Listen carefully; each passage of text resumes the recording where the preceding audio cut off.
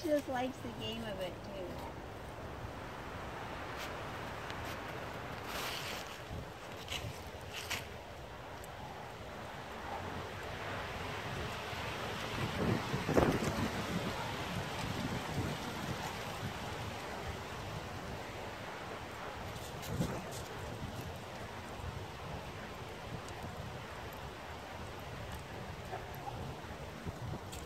Wanna- you should, you should get a, you should put a, a log on the apple tree, like a rope swing.